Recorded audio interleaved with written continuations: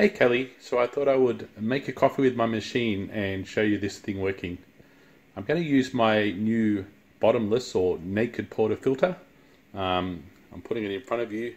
You probably can't really see much difference, but I'll attach a photograph that shows it. But you'll notice there's no spout on that.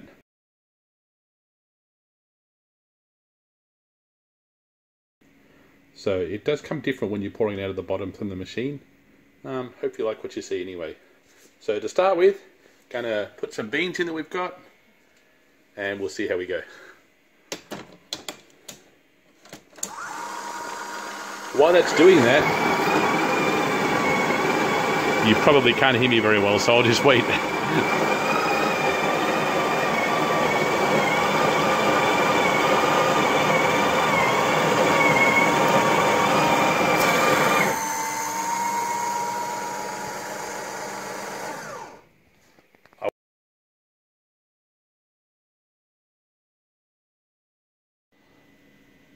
Uh, so I guess I bumped the camera, so I'm going to start again.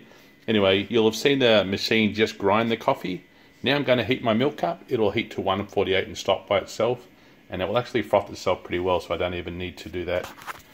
I'm going to use the portafilter, and that's how it comes out of the machine, all tamped and uh, brushed off at the top so it's all smooth. Once I put it in there, I'm just going to drop that straight into a cup but I'll wait till the temperature on this gets to about 100. Once it's up around there, then I'm just a few seconds off going. So I'll start that up and I'll have that ready to go.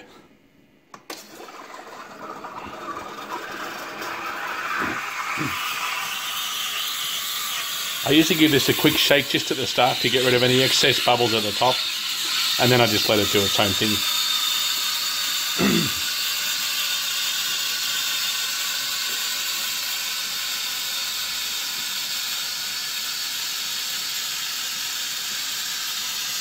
So you can see that it's a fairly quick process.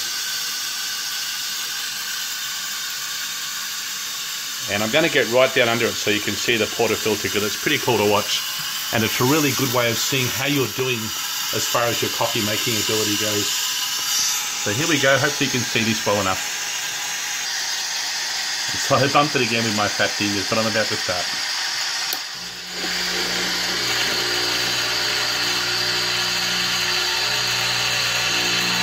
Good shot should cover the whole portafilter and come out in one spot.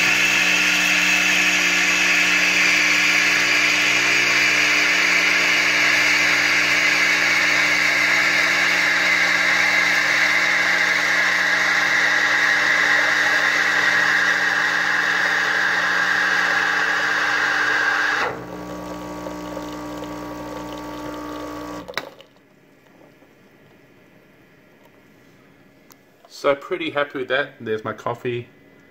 Still got a good crema on it. My milk all done. And I'll get those two together fairly quickly and then I'll go ahead and clean it up after that. Just give that a quick tap to get any bubbles off. So fairly high with your drop to start with, so you're breaking the surface. And then as you get to the top, you get closer so that you're not breaking the surface. And if you're good at this this is where your coffee art would come in.